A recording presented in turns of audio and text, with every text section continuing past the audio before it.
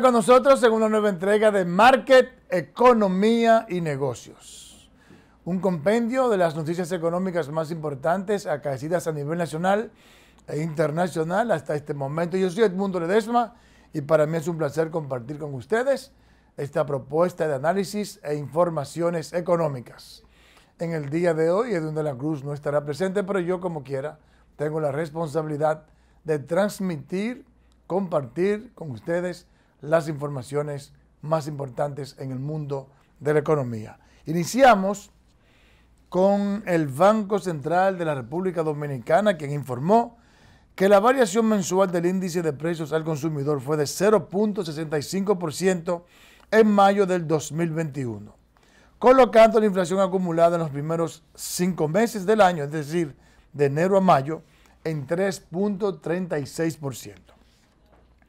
Los grupos de mayor aporte al crecimiento del IPC de mayo del 2021 fueron transporte a 1.48%, alimentos y bebidas no alcohólicas 0.76%, bienes y servicios diversos 0.60%, restaurantes y hoteles 0.56%, además el grupo muebles y artículos para el hogar 0.50%.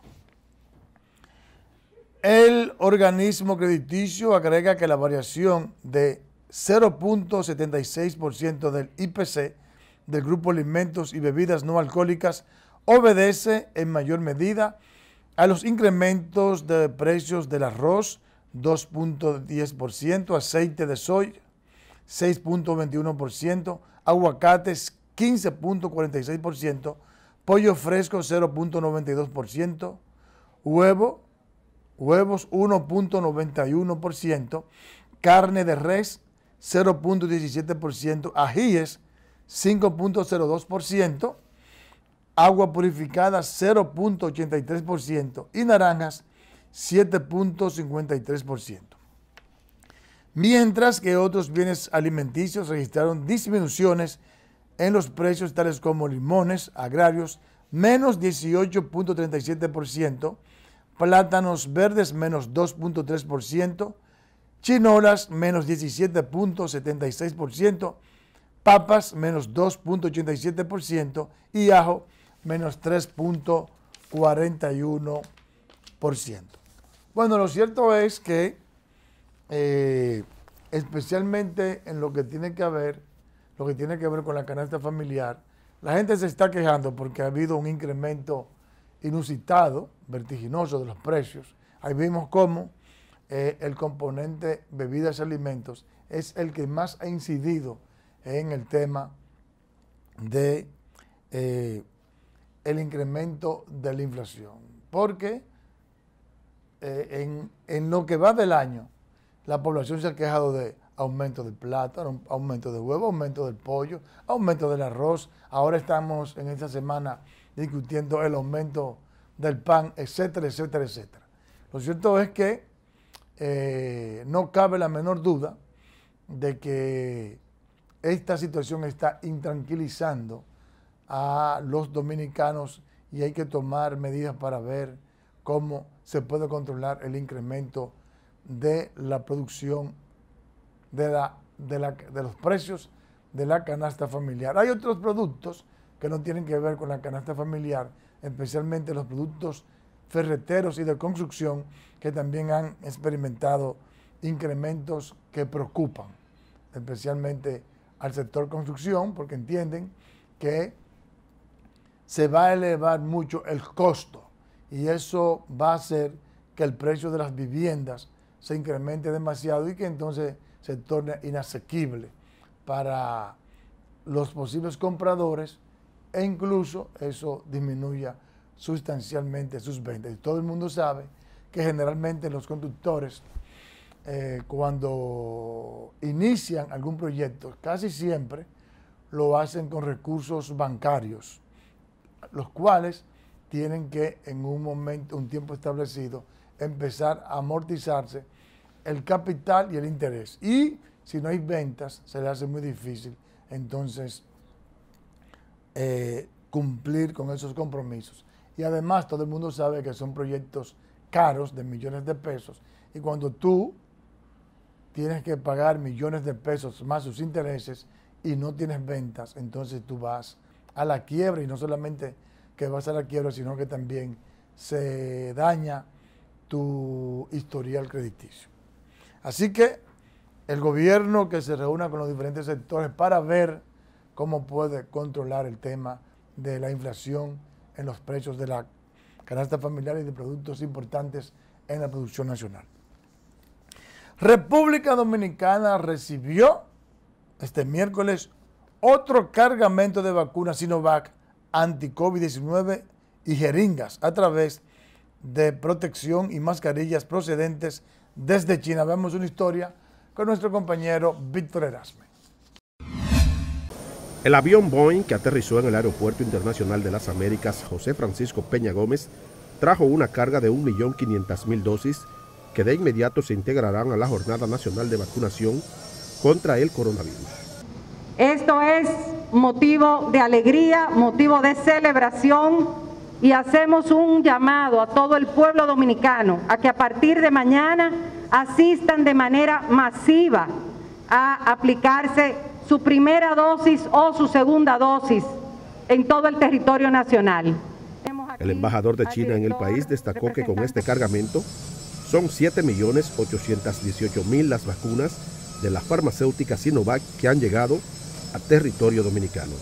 Eh, me sumo en esta ocasión, también aprovecha esta ocasión para sumarme al llamado del gobierno dominicano a la población dominicana a eh, ir a vacunarse para protegerse mejor.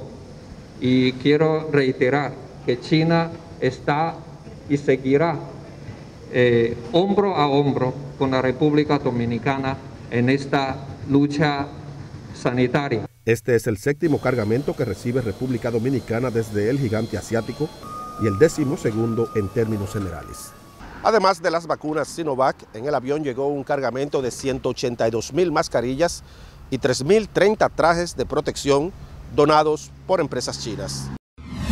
Bueno, qué bueno que llegaron esta cantidad importante de vacunas, porque así el gobierno puede incrementar y profundizar y agilizar el plan de vacunación que está llevando a cabo, que por cierto ha sido muy exitoso. Ya hablamos de más de 6 millones de dominicanos que han sido vacunados. El plan del gobierno es llegar a 8 millones para julio, con lo que se quedará ya instalado lo que es la inmunización del rebaño, porque según los expertos en temas de salud indican que cuando hay algún tipo de pandemia, cuando se vacuna al menos el 70% de la población ya prácticamente está controlada la pandemia. Hay que destacar que el gobierno hace dos semanas de manera exitosa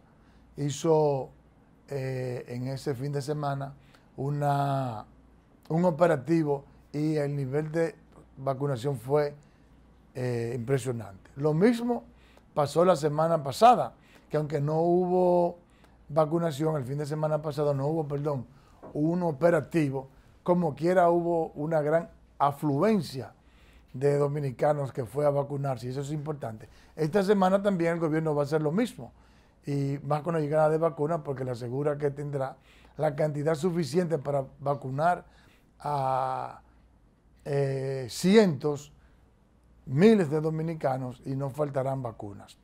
Es, reitero, fundamental que logremos el objetivo, la meta que tiene el gobierno de vacunar al menos 8 millones de dominicanos, porque esa será la forma de salir de la crisis sanitaria y también de salir de la crisis económica. Fíjense que ya el gobierno en esta semana volvió a flexibilizarse, pero hace dos semanas atrás tuvo que radicalizar, ¿eh? que apretar, porque hubo un pico hacia arriba.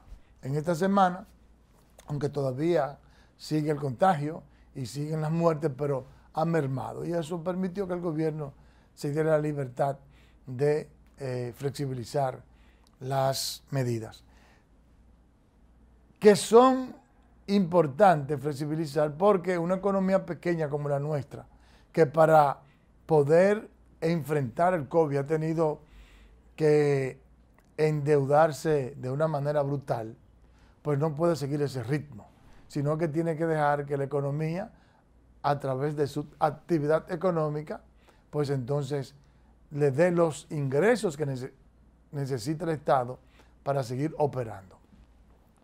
Por eso es que es fundamental que nosotros logremos la inmunidad del rebaño para que ya la economía se pueda abrir completamente y así eh, se puedan no solamente eh, eh, dar la libertad,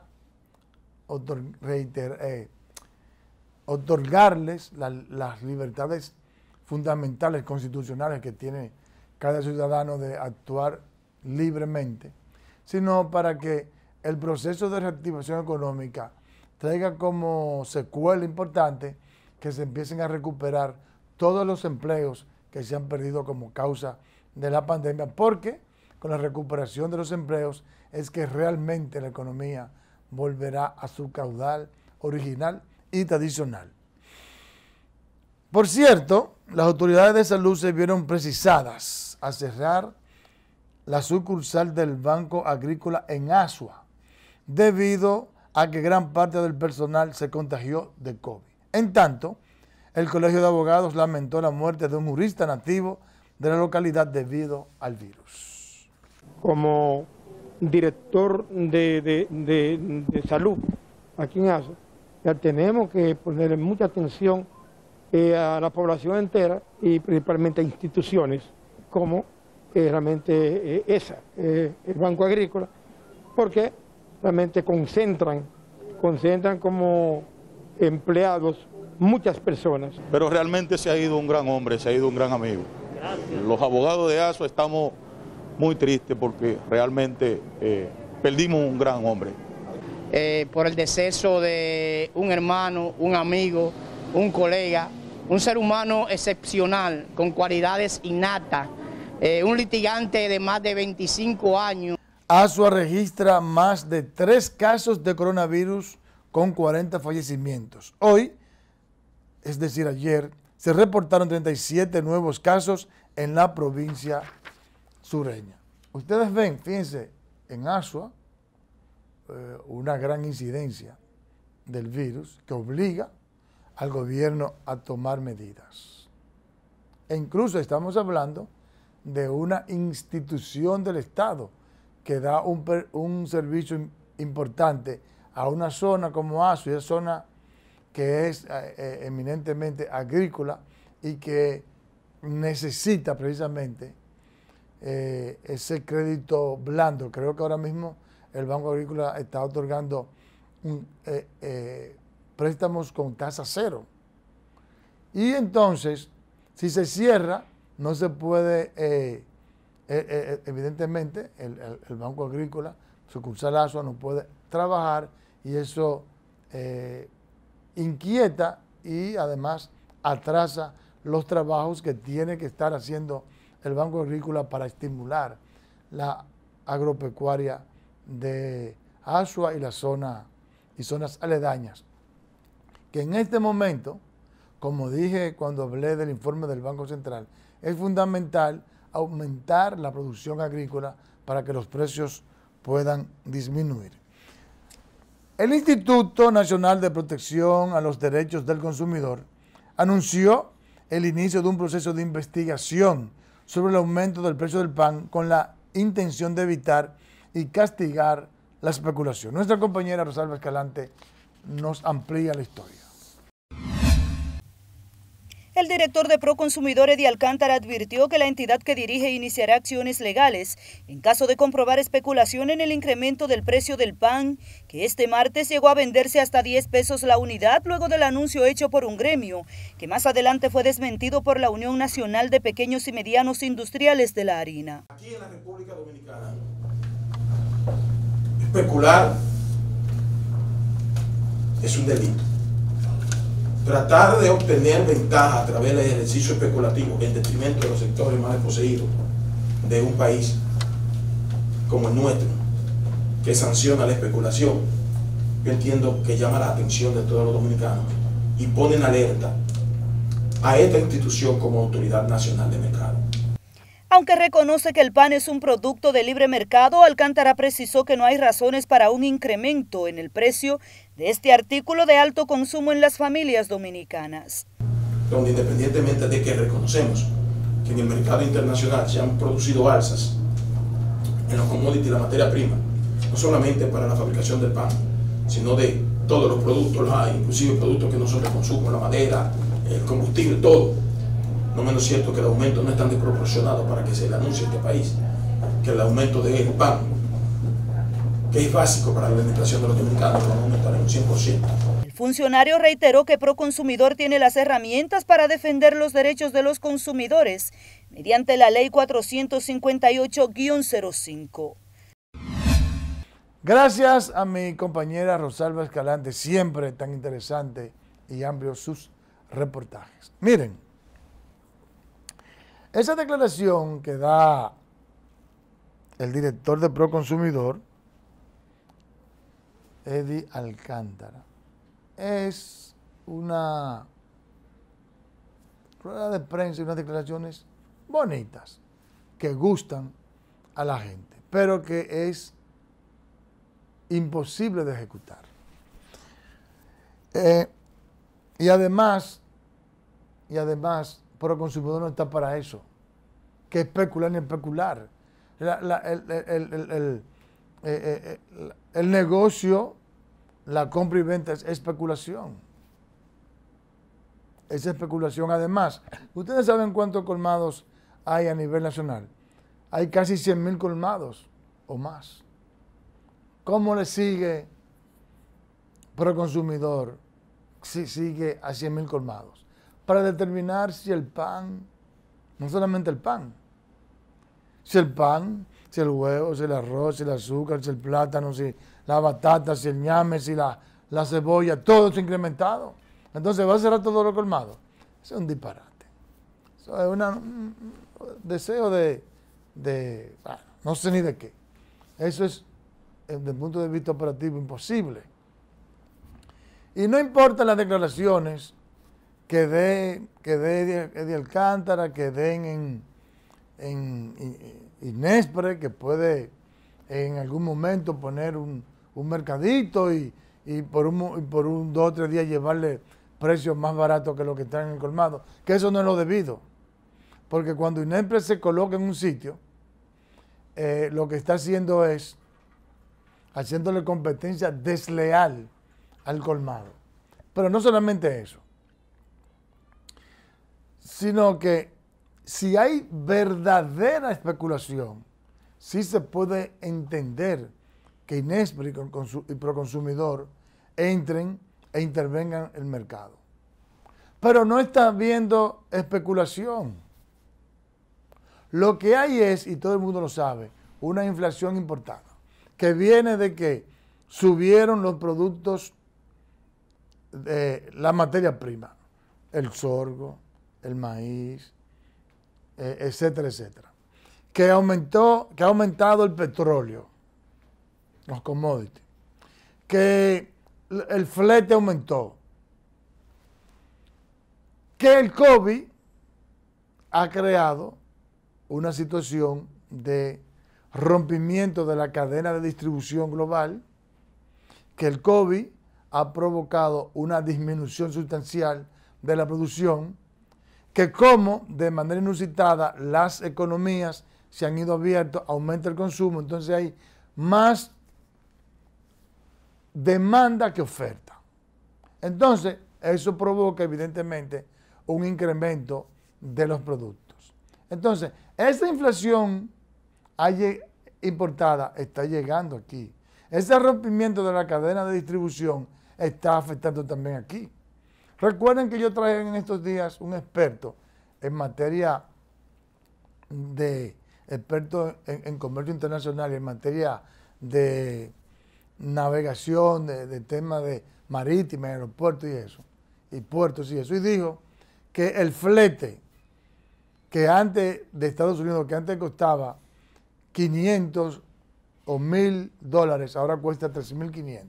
Y que el flete que venía desde China antes costaba 3.000 dólares y ahora cuesta 10 mil dólares. Entonces, hay una inflación. Las declaraciones que dé mi amigo del Cántara no van a hacer que los productos bajen. Lo que va a hacer es molestar innecesariamente a los productores. Ahora, ¿qué sí puede pasar? ¿Qué es lo que hay que hacer? Que el Ministerio de Agricultura se reúna con los diferentes sectores de, de, la agropecuaria nacional, los productores de huevos, los productores de harina, los productores de, de pan, los productores de cebolla, etcétera, etcétera, y vea qué se puede hacer para compensar la inflación importada y para, esa, y para promover la producción masiva. Entonces, de esa manera, con algún tipo de compensación, con algún tipo de ayuda y con el incremento sustancial vertiginoso de la producción, entonces eso puede provocar que se disminuya no. Pero después todo lo otro, de que con amenazas y ruedas de prensa no, no van a bajar los precios. Eso es un disparate. Eso es como cuando explotó en el 2003 la crisis financiera por la quiebra de bancos, que estaba subiendo el dólar, que originalmente cuando explotó estaba al 17 por 1 y terminó en un momento encaramándose al 55 por 1. Y de manera natural, mientras estuvo la crisis, estaba al 50 por 1. Que, se, que, que por decreto, por decreto, se determinó que el precio, que el precio del, dólar iba a ser un valor X, que no recuerdo cuál fue, que determinaron y amenazaron de que iban a meter eh, preso al que se, al que se viene especulando. El resultado fue que se incrementó más. ¿Por qué? Porque es un asunto de oferta y demanda. Es un asunto de políticas monetarias. Es un asunto de capricho ni de decreto. Hubo, hubo una, eh, una, quiebra bancaria que triplicó la, la, circulación monetaria y eso obligatoriamente crea inflación. Luego, a través de los certificados de participación, se trató de sacar, se firmó con el Fondo Monetario Internacional y a los dos meses, tres meses de firmar con el Fondo Monetario Internacional se rompió con el Fondo Monetario Internacional y el gobierno, como se quería reelegir, entonces lo que hacía el Banco Central, sacando recursos de, la economía, eh, eh, eh, se, creaba un efecto, se quedaba sin efecto la política monetaria porque desde el punto de vista fiscal se introducía la misma cantidad de dinero o más que la que había sacado el Banco Central en un periodo X. Entonces se mantenía el mismo nivel de circulante que no era apropiado para la economía, entonces se mantenía la inflación que se reflejaba en el tipo de cambio. Lo mismo pasa con la situación actual. Los precios no van a bajar por caprichos o por declaraciones es porque se apliquen las políticas, en este caso fiscales, administrativas, adecuadas para aumentar la producción. Miren, el comercio, la Confederación de Comercio de Provisiones y MIPIMES de la República Dominicana propuso que los comerciantes integrados en federaciones y asociaciones puedan importar alimentos para hacer frente a a los altos precios de los principales productos de la canasta familiar. Los comerciantes entienden que la importación se puede realizar luego de hacer un inventario que establezca la cantidad de alimentos disponibles a los fines de que se pueda importar sin afectar la producción nacional. El gobierno en este momento está buscando solución al problema del pan para que el pan no se venda a 10 pesos como posiblemente se, se vaya a vender o se esté vendiendo subsidiando a los productores de harina que también lo haga con algunos artículos que han subido como siete, ocho veces, como el caso del aceite. O sea, hay que buscarle solución a la comida. No podemos seguir cargándole más problemas a las amas de casa porque hay una olla de presión que se está formando alrededor de nosotros en los barrios que si, si, estalla vamos a ser saqueados por la, por, la, por la turba porque el hambre no espera. Confecomercio entiende que en una mesa de diálogo entre el gobierno y los comerciantes se puede acordar con el Ministerio de Agricultura, sea quien otorgue los permisos de importación. Esa, por la coyuntura actual, no es descabellada, siempre y cuando haya una adecuada planificación, en el sentido de que se determine cuál es la cantidad adecuada, pero que de manera concomitante, e incluso hasta sería bueno que el proceso de negociación para otorgar permiso de importación vayan los importadores, pero vayan también los productores nacionales, el Ministerio de Agricultura y todas las entidades que son dependencia del Ministerio de Agricultura, como el Banco Agrícola, como, eh, eh, bueno, todas las entidades que tienen que ver con el tema de producción agrícola que estén ahí para que haya un plan integral de importación, la adecuada, pero especialmente para darle certidumbre y seguridad de que las importaciones no van a desplazar la producción nacional, de que las importaciones van a ser limitadas por un tiempo X hasta tanto a través del apoyo del gobierno se restablezca adecuadamente la producción agrícola. Eso es lo que hay que hacer. ¿Por qué?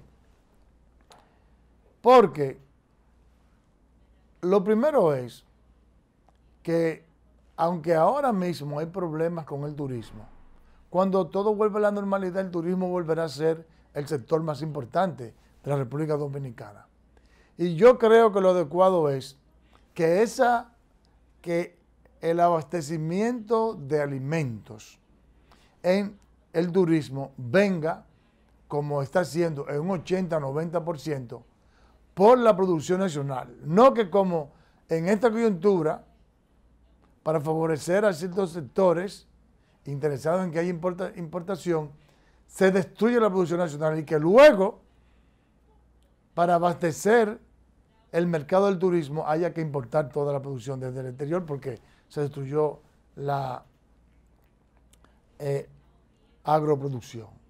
Entonces, en esa reunión encabezada por el Banco Agrícola y todas las entidades que son afines al Banco Agrícola, los importadores y los productores, para que haya sincerización de lo que se está haciendo y haya certidumbre y confianza en el sector agropecuario de que el gobierno y el Banco Agrícola podría estar importando en, un momento coyuntural como porque hay una desestabilización de los costos de producción y de la capacidad de producción del Estado de,